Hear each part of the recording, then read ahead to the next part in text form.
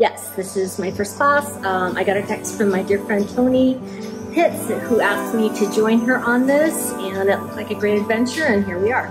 So I have um, a background in education and I have a degree in photography technology and I'm now teaching um, photography at College of DuPage. I'm currently teaching Intro to Digital and um, Composition, Color, and Design.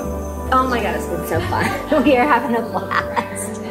We are taking photos, playing with lighting, um, doing science experiments with different chemicals and creating beautiful images uh, using the 1850s process of tintype and just making amazing images that look like they were from the 1800s and it was absolutely exquisite.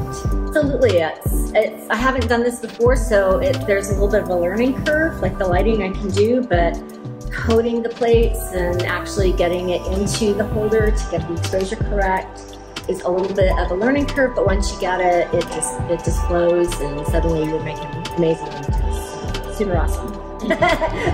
Rashod.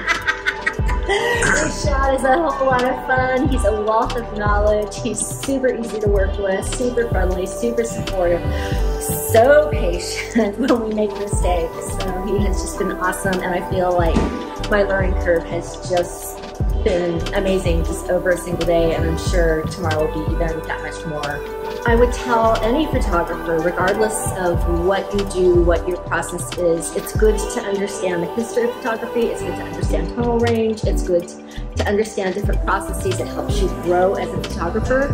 Um, so I think anyone who's interested in creating pieces of art and not just photos, this is a great opportunity to expand your skill level and try new things and think outside of the box yes, I would absolutely take another class. I'm hoping he offers a Tintype 2.0. Well, I will definitely sign up. I teach at College of DuPage in Glen Ellyn, Illinois, which is a Chicagoland collar suburb. Uh, my website is AllisonKPhotography.com. My Instagram, I think, is AK Photos. Um, and that's about it.